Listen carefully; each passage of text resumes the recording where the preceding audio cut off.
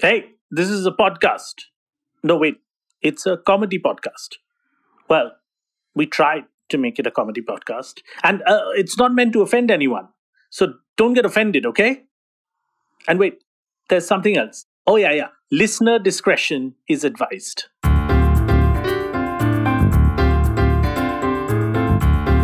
Audiomatic presents Our Last Week.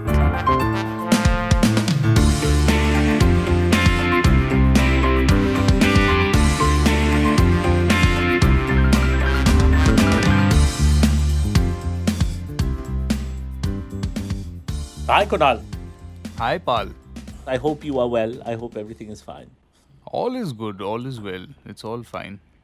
I uh, am still in London. I'm going to be back in a week. Uh, actually, I did a show here, Kunaal, on the 11th of November, and a couple of people attended who were fans of our last week.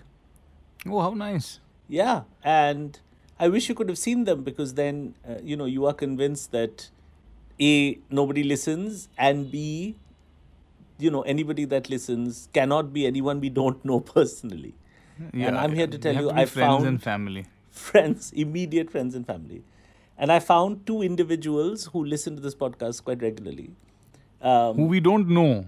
who we don't know, who live in a foreign country, and and they live in this country and they listen to this podcast. And I asked them for a conundrum, and uh, our producers tell us that people in the thousands listen to this podcast. Did you know that? Wow. I mean, we've both spent our entire careers in entertainment. I don't think we've ever, you know, uh, reached Yeah. out to more than nine people. Well, either that or our producers are very good liars. So, They're know, liars, Just to they're keep our liars. spir- spirits up. yeah, Mm, that's just been since 2016 they've been lying to us saying Yeah. a large group of people do this but apparently people that listen to this podcast do it while doing other things like driving Yeah. or cooking or so that's pretty much how anybody else listens to us as well you know our own family members our partners yeah. I mean, life is like the podcast because we are talking, we think we're saying insightful things, but they're busy cooking, cleaning, you know, leading their life, and we are just like a occasional audio influence in their life. Yeah. Yeah. So now that's, that, uh, I mean, that, yeah, that's a lot to ask for in any case. You know, I mean, I mean, I'm like, I'm grateful that we can just be like some sort of background music in people's ears. exactly, exactly. So how how our family treats us is now extended to a larger listening base, who are Yeah. ignoring and not ignoring us at the same time. Right. Yeah, while vacuuming.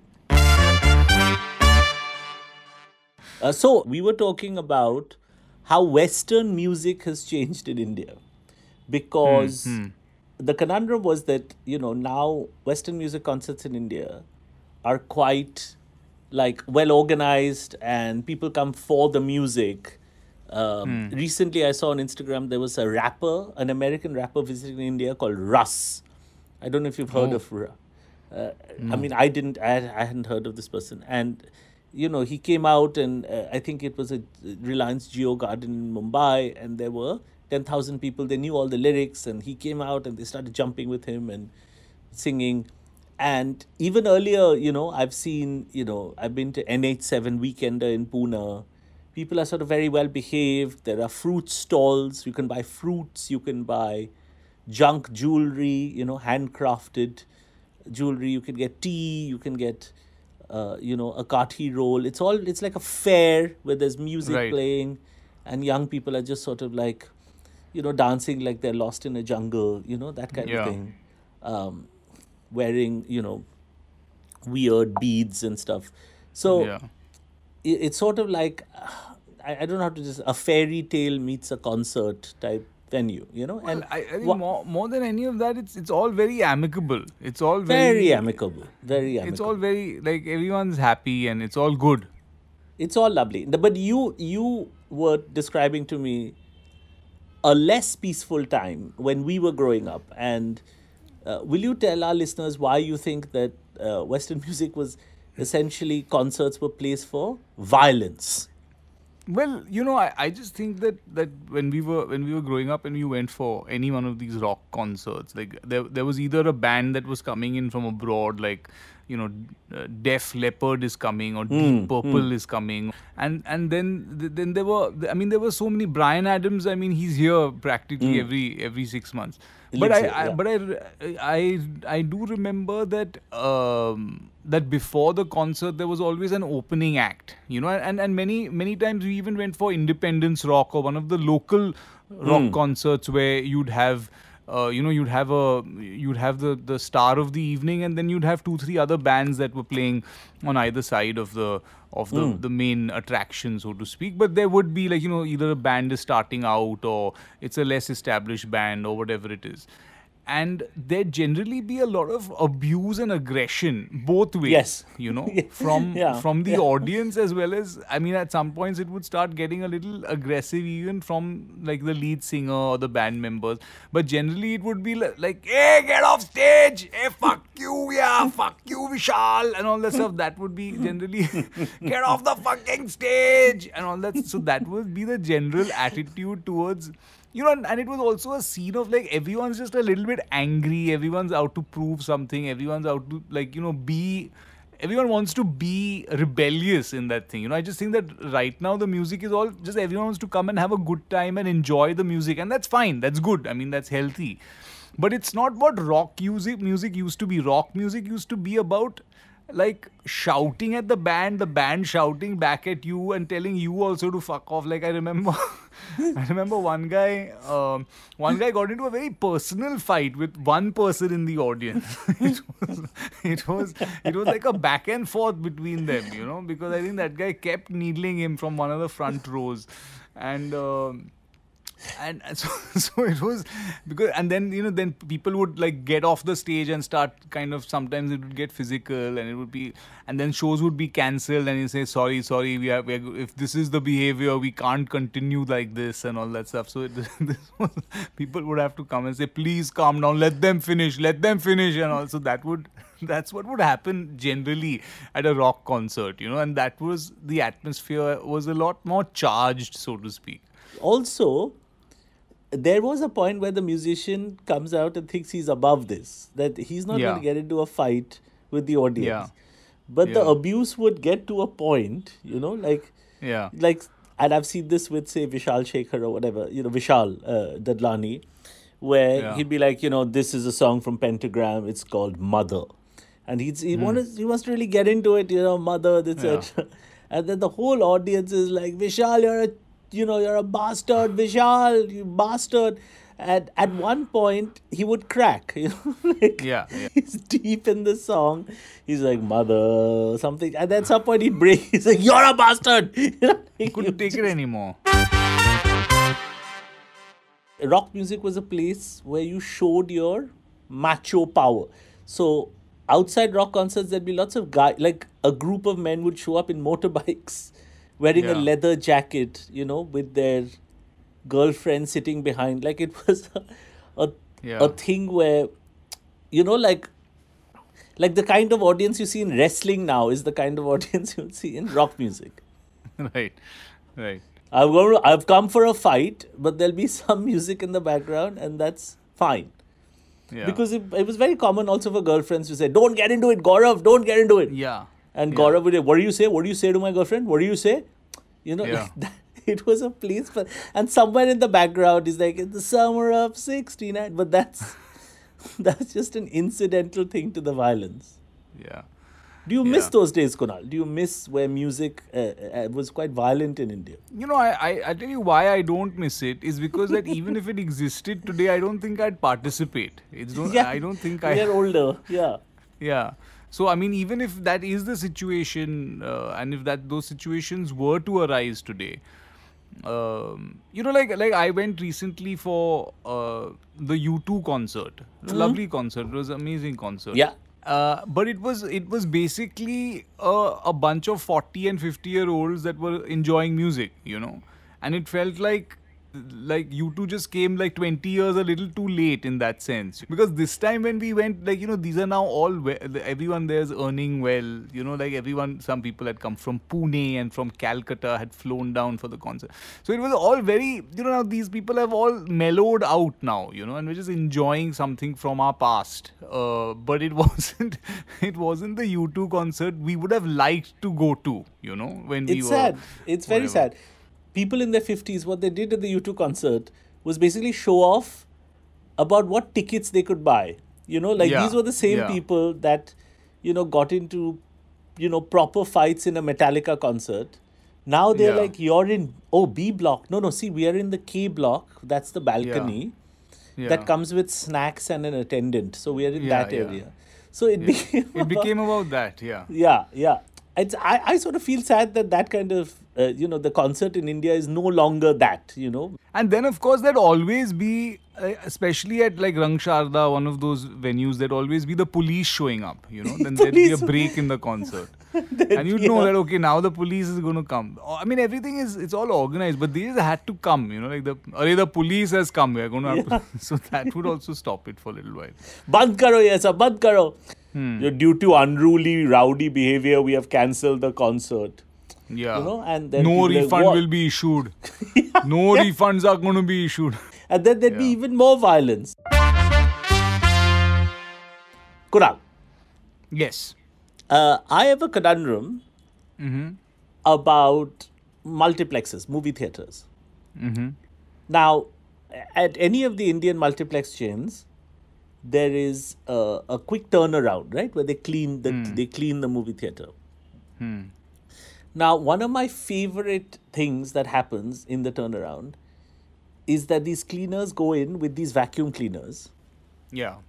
and it's a kind of vacuum cleaner I haven't seen anywhere else in the world, where the you know the the garbage collection normally a vacuum cleaner you know you're vacuuming and then all the thing gets sucked sucked up into a little i don't know how to design it a little box or whatever which Right. is sort of rolling around behind you you know the the res- the receptacle of the garbage. And it's sort of following around as you're cleaning the apartment. At an inox or, or a pvr that particular object where the garbage is being collected is on the cleaner's back. He's wearing hmm. it like a backpack. Hmm, hmm. And uh, my conundrum is that I want to discuss with you how this person might feel as he hmm. has he spends day in and day out being the receiver of garbage on his back, you hmm. know, of of whatever, you know, popcorn or caramel, you know, whatever all these whatever these children have thrown. Hmm. Every hour he has to walk around the movie hall just just sucking this up and putting it in his own back. And I, I, ju- I just wanted to know if you have any thoughts about that individual and his job. And and why You know- someone would invent a device of carrying garbage on your own back Well, I, I mean, I, I don't have anything against the innovation. I think it's quite a good use of, um, you know, it's ergonomically designed, so getting in and out of those tight spaces and all, I guess. So, but but for me, when I was a kid, I, I mean, there are two things that I remember. When I was very young, six, seven years old, I remember uh, either wanting to be a deep sea diver or an astronaut yeah you yeah know and and in in both cases it it requires a sort of backpack you know either Yes. you're wearing this huge uh, air tank on your on your back or you're wearing that huge rectangular sort of backpack if you're an astronaut uh, which has multiple functions uh, and i uh, and, many other things, you know, heroic things. Kind of, I, I've always thought, like, you know, when I saw the film uh, Rocketeer or Rocket Man or whatever, you know, there's a he wears this backpack and he goes flying around everywhere and he could fly through. This, this is pre Iron Man times. He wears this big helmet and he's flying around everywhere, and, and that was also pretty cool. So I, I've always thought of backpacks as something like I've always thought of it as an aspirational thing. You know, so even when I go diving, I, I really enjoy putting on that back thing. I feel like, oh, I'm kind of doing something, you know, like this is an adventure. Like, you know, if you're climbing Mount Everest, you're going to wear a backpack, you're going to be carrying your, or you're going trekking, or you're going climbing, or, you know, you, you feel like you're on an adventure, you feel you're uh, some sort of heroic thing. Yeah, But- heroism is associated with stuff on your back, but often the stuff you're carrying on your Hmm. back in that circumstance is like life saving. You know, oxygen, Yeah. food. You know, Yeah, Uh, yeah. are you aware of that very professions where you have to carry other people's garbage on your back every hour? Not many, not many. The the problem with this is that he's wearing a uniform and it's looking it, it looks very like you know it's a very cool looking thing. And then you're sucking up, you know, like some spaghetti has fallen somewhere and Yes. some so there's a side kind of dichotomy in this which is quite And confusing. My conundrum is, I guess the conundrum here is, how does the boss sell the job to a person like this? Now, See, I, I, I actually like the act of vacuuming. You know, like I'm quite fond of vacuuming. I, I like sucking up. Like I, I don't think I'd be able to do it like a nine to five job, but I think the boss is going to have to make it sound a little sexy. You know, he's going to have to make it sound like he's a, a, a instead of a ghostbuster, he's a dirt buster or whatever it is. uh, you know? uh, uh, uh. When there's something strange in the aisle over there, who you going to call? Ramesh तुम PVR का cleaner नहीं हो तुम Covid hero हो you know it's the same thing Yeah. right? I think it's Yeah. really how you make shit jobs appealing. Normally, a podcast has commercials. Yes. So we would now like to cut to a commercial break. Yes. And we'll see you after the break. See you after the break. This is a break. This is the break. This is a break. Welcome This- to the break. What was it earlier? Not a break. That was not a break. This is a break. During this break, we would like to advertise a product. what should we advertise? Hands. Hands. Yeah. Hands. Without it, you It's a little tougher. it's difficult. yeah. Get hands. Yeah. Live life to the fullest. Hold things, touch things. Hands. Slap Kya yourself. batao? Yeah. So, uh, if you don't want to listen to shit ads like this, Don't listen to these ads. uh, do something with your life. Yeah. Go to patreon.com Yeah. where you will not have to listen to us talking nonsense. Yeah, and you don't have to listen to this garbage part of the podcast. This garbage part. You can listen to other garbage parts of the podcast. and you can and you can listen to it ad free. ad free, improved, no heart ads. Nothing. Yeah. It'll just like it'll just flow straight Hamara through. haath chodo Yeah. and seedha udhar jao. Yeah. It'll, you'll be left alone. And the best thing is I won't be speaking Hindi Yeah. with a colonial accent. So I mean, anyone would pay for that. And there should be a cost, and that cost is very minimal Yes. for you to be on Patreon, get special episodes, merchandise, live shows, Yep. and uh, you know many other benefits. At some point, you can see us in in in a live show and come and touch our nose.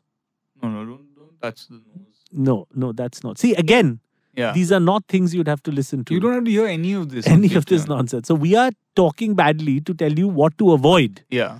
So avoid this. Avoid this. Go to patreon.com forward, forward slash. slash our last week. So this is the break, and now it's over. Bye. Bye. Kunaal, Yes. you had a finance conundrum.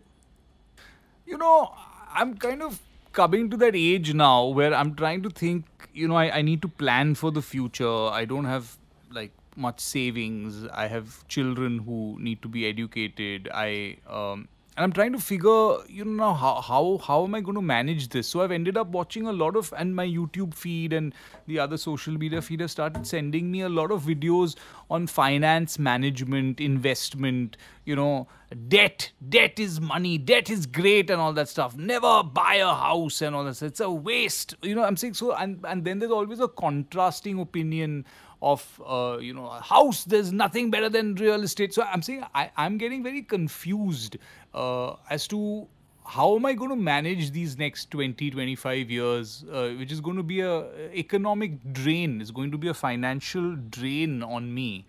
I, I mean all the way till i'm dead. Uh, but but these guys these guys are not helping you know because uh, because guys are saying all sorts of things and I, I just don't know how i'm going to figure this out pal My feed is filled with people saying, you know, uh, yeah, don't ever. The losers in the world are people that, and, and they always have an American accent. You know, they're always Yeah. rich-looking people who give this advice. It's like all the losers in the world are people who buy things, houses, cars. They, Because what you are is you are cash poor. The way to get Yeah. rich is to borrow because you borrow and you spend. Never spend your own money. Borrow and spend. and I'm like, what is it? Like, who's going to give me? A, like, I thought the whole point of economics was you make money, you spend money, and you die. Yeah. I thought that's what it all meant. Simple. Simple. Now I'm totally confused because they're like, you apparently spending money is bad, keeping money is bad. Like, if you have Bad. money in the bank, that's bad because that's money going down, inflation or whatever. Buying a house is bad. Then some people say buying a house is the best. He's like, do you want to keep money in the bank? No, real, real rich people invest in property. And then someone other guy, exactly like you said, property is a sunk investment. Yeah. People for 20 years, they're just waiting for the property. They can't find a buyer. It's, do you want that life? And I see your point, Kunaal. It's like, how, who, how what are we supposed to do? I, so I, my conclusion is that uh, you know something that you mentioned is that I think we're going to have to go back to the way that it was in the uh, you know 17th 18th century or even early 19th century where once the child is of age you know like 16 Yeah. basically uh, Yeah. they're told to you know just now just figure it out you know just see now just see what you want to do because i'm done you know Yeah. Yeah. this th- th- this tap has run dry now you just see what you need to do because uh, so just figure it out and uh, don't come from tomorrow basically yeah. Yeah. i don't want to see your face so i so after after watching all these videos you know i think that's the only thought that comes to me i think that's the only solution that i've been able to figure so far Yeah, is is to that, sit your uh, kids down and be like, listen, Yeah. I've done my best. You are now 16. Do you have any Yeah. skills? Can you stitch a golf ball? Can you, yeah, can you at least make a sweater? Because I know Yeah. some sweatshops in Bangladesh that are recruiting. yeah And you're educated enough. You're class 11 pass. That's much better than your great grandparents. or me you know, even. So, or me, yeah. So make your own life. Yeah, we'll still Yeah. love you and we'll see you every Sunday. You know, I think that hmm. sort of thing, it just makes Yeah. things clear. You know, there's no Yeah. issue here. I've been watching this show called Succession, and and uh, it's a, it's a it's a fun show. It's it's very it's it's good fun, and uh, you know and they're talking of billions of dollars, and and all the children involved are all you know insecure, and uh, uh, everyone's playing mind games, and it's like very cutthroat within the family, and and it's it's mil- billions and billions of dollars at stake here. And it's the yeah the and all of that. the Rupert Murdoch empire. You know, it's supposed yeah, to be based pretty on much. Uh, but but the only thing that I keep thinking of is that you know this is seeming very mild compared to uh, any family fighting over 500 square feet uh, in Sion, you know, or in uh, uh, or in Colaba, uh, where So, so you're saying where it gets a lot more competitive and you know they take it to another extreme.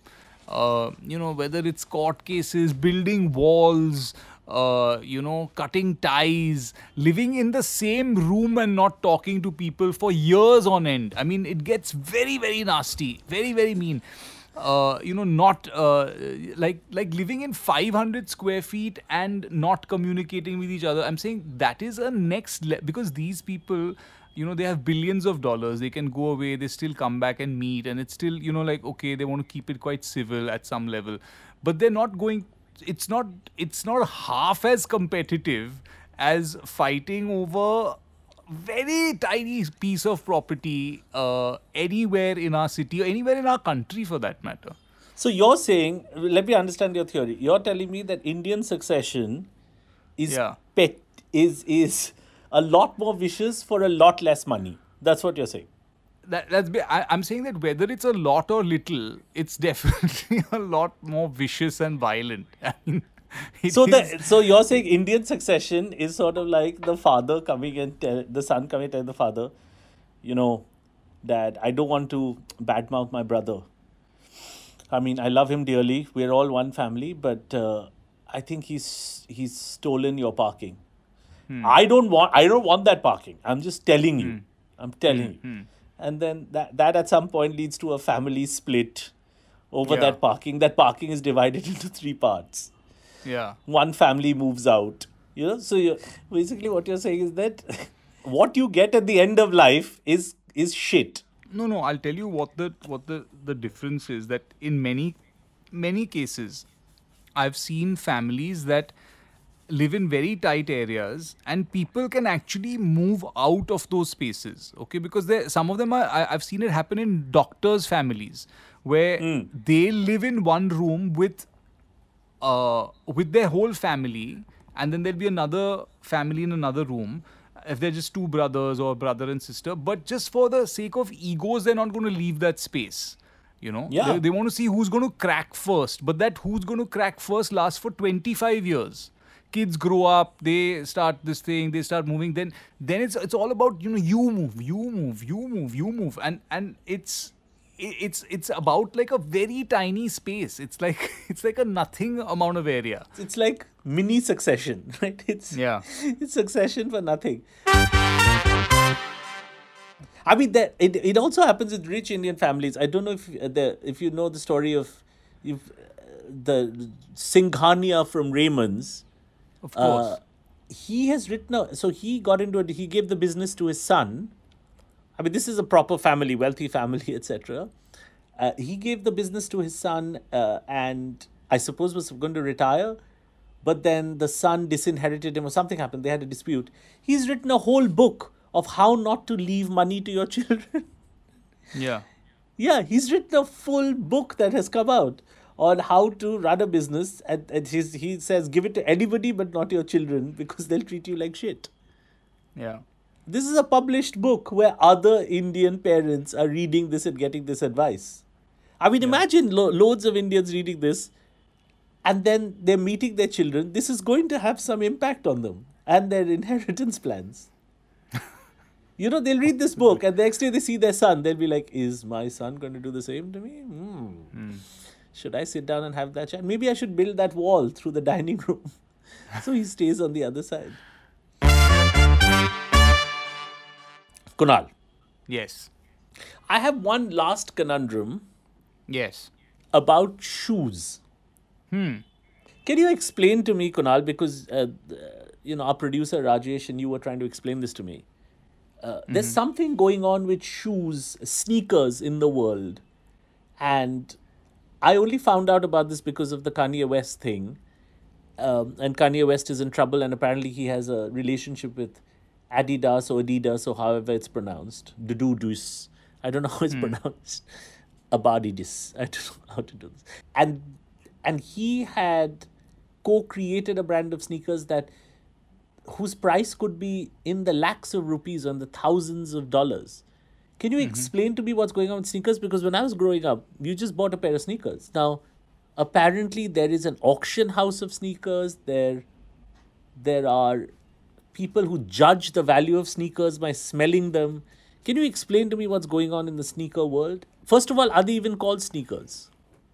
Uh, yeah, they're called sneakers. They're called, I mean, whatever they're called. But the, I, I think, see, in this day and age, anything can become a collectible. I guess you know. Um, I, I, I, I, I, I just think that there's this full because now people, of course, want to keep them in glass boxes and they're prized possessions, and they don't want to wear them, and they, you know, they're more like investments. It's like what happened with, say, comic books or. Um, So someone will buy a pair of Michael Jordan sneakers and Yeah. keep them in like like a closet, like you've bought, you know, a painting or you, you've bought like a you know a souvenir from Amsterdam or whatever. You keep them behind a glass thing, but you don't wear them. Yeah, because some of those are like limited edition, and some of those uh, are very rare, or you know, or there there there are certain series that came out a certain year with some. Uh, like a specific logo or it's like a limited edition whatever I, I i mean people have their the the thing is that like the whole infrastructure that's now around them you have these these uh, these foot uh, locker i don't know what it's called. It's like a it's like a f- like a fair like a fest like a sale where they have all these shoes and then you have these people who come and where you get your shoes verified like this is a genuine pair of air jordans or of whatever it is. And the guy you know he opens the box and then he he checks for the the quality of the printing on the paper that's covering the shoes and then he looks at the shoe's tongue and then he smells the glue of the shoe to make sure that it is the correct glue that he's getting. Then he makes sure that whether it's been worn or not worn how many times it's been worn and then he'll put a price on it or he'll uh, he'll say yeah this is genuine and then then that guy can go around se- selling it or you know So he's like like someone who's evaluating a Rembrandt or a Michelangelo. yeah You know that kind yes of. it is It is So- very much that kind of skill And, yeah, and, and we're talking still about shoes, right? The thing you're supposed to wear, you that's supposed to get feet, wet, yeah. and and it's supposed to be hit with muck and rubbish, and it's still shoes. like the, this It's is shoes. It's happening with shoes. Yeah. So I- so for me, like you know, like I, I can get when it's great craftsmanship in something, like you know, like I can get oh this is these cars are a collectible. There's it's a great craftsmanship that went into these cars. But I think with shoes, it's like an industrialized sort of process, right? I mean, it's not it's not some. I mean, of course, every few years there's some new technology that goes into it, but it's an industrial sort of thing. Like there, there isn't much like there's no artwork that's involved over here. If you do this with shoes, where does it stop? You can do it with toothbrushes. You can do it with uh, print printers. As a, my thing is, why not? Yeah, why not? Yeah. Yeah, like it's just that you need enough of a consensus. Uh, you just need enough of a society of people who believe that this can become a collectible, that this A can thing, be a thing. yeah. You yeah. know? I think we should start one for old Nokia phone chargers. Yeah, and not the phone, just the charger. Charger. And then Bata certainly taken off. Next thing we know, we'll be we'll be paying lakhs of rupees for some power shoes. Yeah, it'll be like uh, you know, like this is uh, or like a Hawai chappal. Like I'm saying that we should now we should we, we should make it a very cool thing. You know, like Hawai chappal. We should say that you know I have a 1989 Hawai. And it's not Yeah. this Havaiana and all that stuff. It's the original Bata Hawai chappal from 1989 in mint condition. How much can you give me for that? I'm saying that should be the conversation now. We should be heading there. That'll be like the old ambassador, you know. It'll it's Yeah, priceless yeah. almost. Yeah. Yeah. I think that's worthless you're looking for. I don't think you Um, meant priceless is it. Because in Calcutta, yeah, yeah, yeah. they're still there. Yeah. There's the a very fine ambassador line between priceless and worthless, I think, when it comes to those things.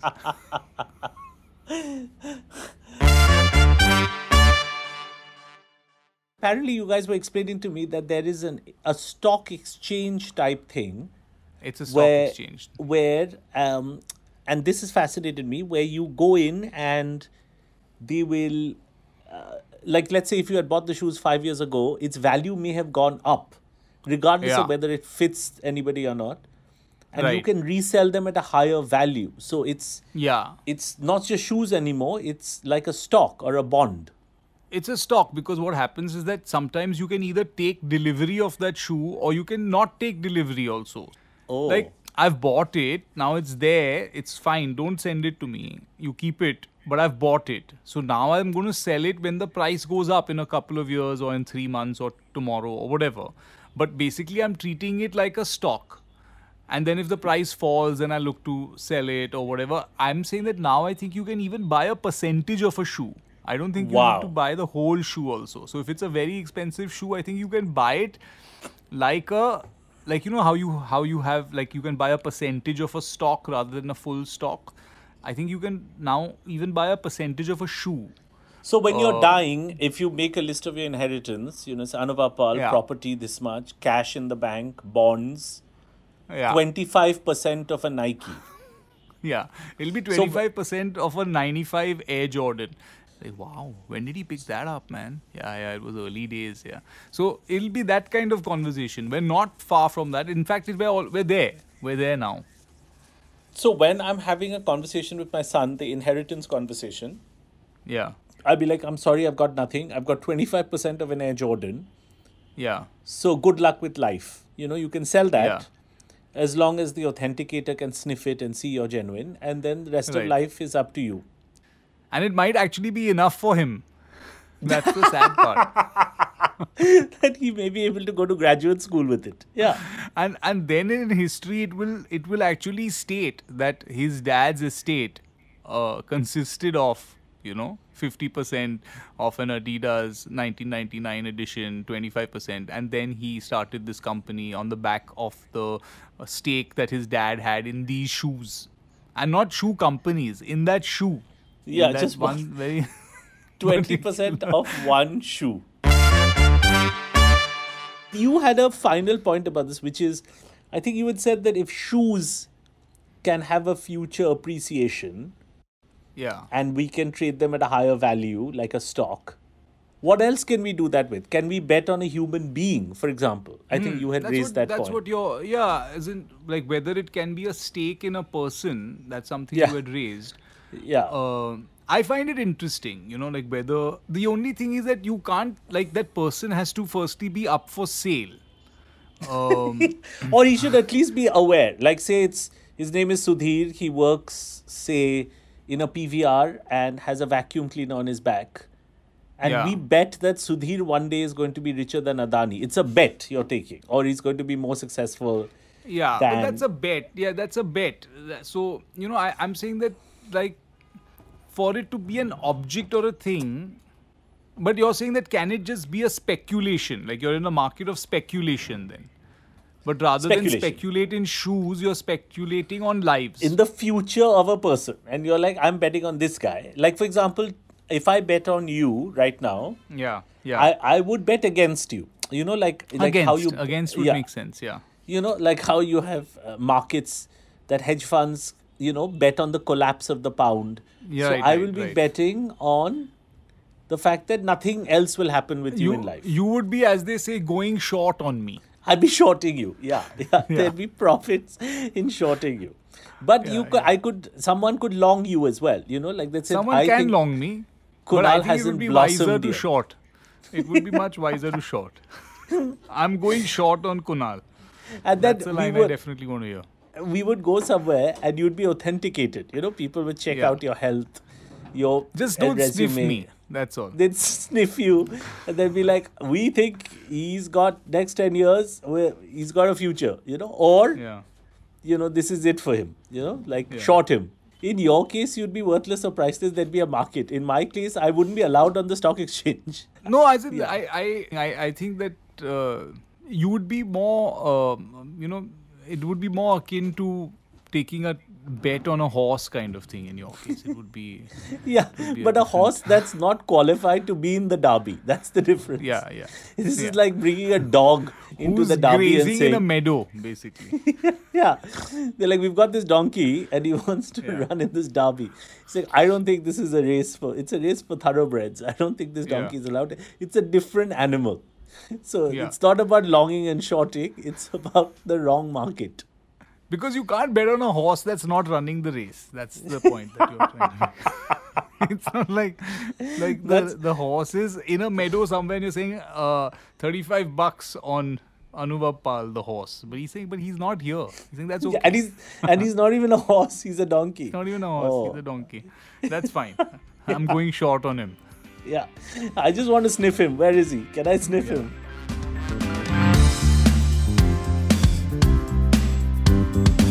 Has been our last week, Kunaal. It has, Pal. Uh, we request our listeners, please, wherever you are in the world, you know, uh, just we'd love to hear your voice because Kunaal doesn't believe you're listening. So please send us your conundrums at uh, you know at on Patreon where we are for your listening pleasure. Uh, we are a subscription-based entity like you know any good magazine or pornography or however whatever floats your boat and. Uh, uh, we will always be here discussing how to sniff shoes and how to disinherit your children. Any Yes. last thoughts, Kunaal? Uh, no, just, uh, you know, y'all can send your conundrums to Patreon. patreon.com Patreon. forward slash Yes. our last week. That's uh, where you can send your conundrums and do subscribe uh, for the free episode, uh, the the bonus episode that everyone gets every month, uh, every month. Sorry, and um, And and definitely, definitely short our stock in the future because we're not going, we're, we're going nowhere. Bye. bye.